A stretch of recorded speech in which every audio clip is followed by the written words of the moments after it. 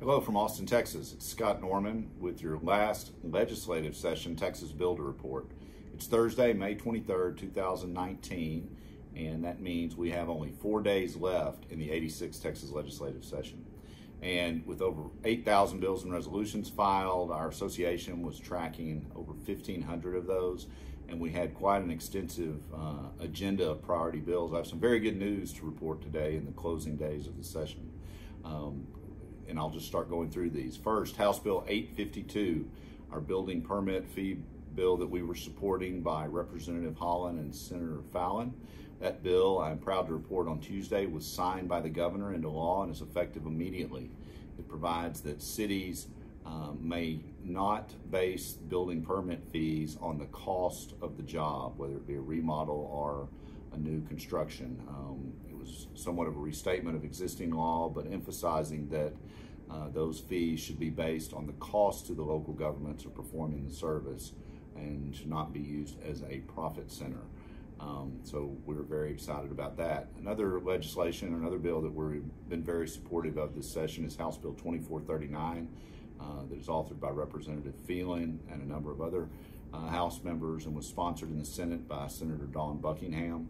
2439, I'm proud to report, uh, late Sunday evening was passed out of the Senate and later today the House is expected to concur in some minor changes that were made in the Senate and that bill will be headed to the governor's desk. That is the bill that would uh, prohibit cities from mandating or prohibiting certain types of products as long as those products are authorized in the uh, national building codes.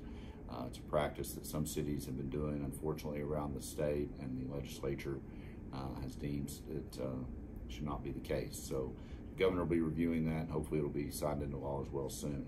Another bill uh, that we were very, very supportive of, and an issue we've worked on for a number, number of years, is House Bill 1743. That bill was authored by Tracy King and a number of other members of the Texas House and was sponsored in the Senate by Senator Brandon Creighton.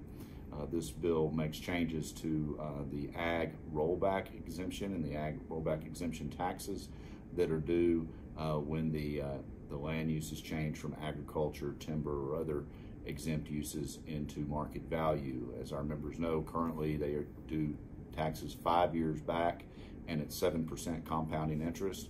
The legislation will now only require those taxes to be paid back for three years at 5% interest, a significant property tax savings to landowners all over the state, which will have positive effects on housing uh, for decades to come. So 1743 is headed to the governor's desk for his consideration, and hopefully he will sign it into law. Uh, these and many more bills we are supporting um, are still moving through the process. We've had significant success in the area of workforce. Um, we successfully advocated for additional $30 million to TSTC to fully refund their their uh, funding to their uh, their programs, as well as get them some additional funding for dual credit programs. Um, it's our understanding that language is in the conference committee report on the state budget that the uh, legislature will hopefully adopt before sine die. Additionally, uh, we've had some success in development plan and plat reviews on um, flood infrastructure and mitigation funding. Um, legislation in HJR 4 uh, appropriates over $3 billion from the rainy day fund uh, for flood projects going forward, in addition to some funding um, in response to Hurricane Harvey that is moving forward and a number of other bills that uh, we'll, we'll report more on after session. But uh, look for more information for us forthcoming in both future editions of this report as well as in Texas Builder magazines and on our website. And we look forward to visiting with all of you about all of this and much more at our meetings coming up at the Sunbelt Builder Show in August. Thank you very much and have a great summer.